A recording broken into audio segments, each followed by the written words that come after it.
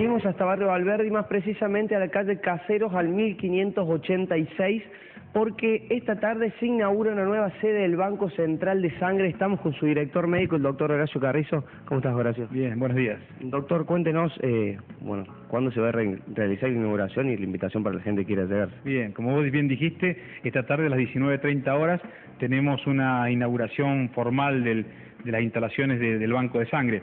Eh, si bien venimos trabajando ya aquí en Caseros desde a partir del día 25 de marzo, el día de hoy a las 19.30 va a haber una inauguración eh, que va a consistir en la, formalidad que es el descubrimiento de plaqueta y un corte de cinta acá en el banco de sangre y posteriormente en un hotel de acá cercano vamos a hacer un pequeño ágape para las instituciones médicas y colegas y familiares que están invitados para este, este, evento importantísimo para nosotros. La tecnología los, los, los va llevando usted porque vemos aparatología realmente nueva y muy moderna aquí. Eh, seguro, si bien nosotros estamos inaugurando esta nueva sede y con, con todas las comodidades y el confort para, para, para, asistir a nuestros donantes de sangre, el banco de sangre viene funcionando ya desde el año 2000, ¿no?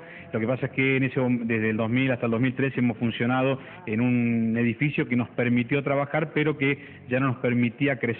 Es así que el banco de sangre ha eh, optado por tener su propia sede, una sede propia, y como dije, eh, construida de cero, pensada en, en el proceso de la demodonación la mejor atención de los donantes, una sala de espera amplia, una sala de extracciones que es la que estamos acá con nueve sillones de extracciones en donde uno podría atender en un periodo de cuatro o cinco horas que tenemos la mañana alrededor de 100 donantes, que es lo que nosotros necesitamos, donde el donante está mm, bien asistido, bien acompañado, bien acogido, con una iluminación importante para la sala de extracciones y con la comodidad para que el donante se sienta contenido y podamos de esa forma conseguir mayores donantes de sangre en Córdoba. ¿Cuál es la importancia de donar sangre?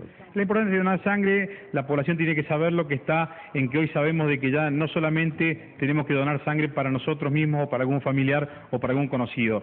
Hoy estamos tratando de los bancos de sangre de que la población tome conciencia de que tenemos que donar sangre para una población. Muchas veces la gente, más allá de no saber la importancia, también tiene un poco de miedo. ¿Qué le podemos decir a la gente para que se acerque?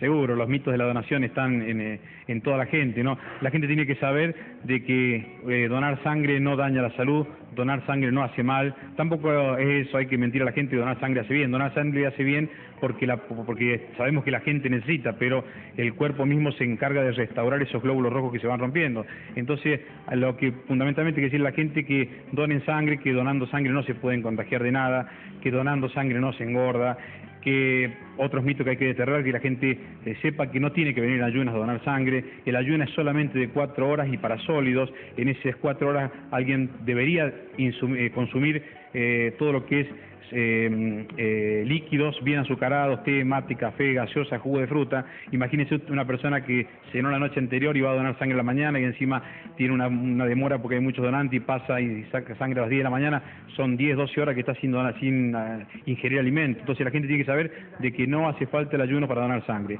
Las condiciones generales, personas entre 18 y 65 años, mayor de 50 kilos y fundamentalmente sentirse sano para donar sangre y, el hecho de acercarse para hacer un bien solidario hacia la comunidad.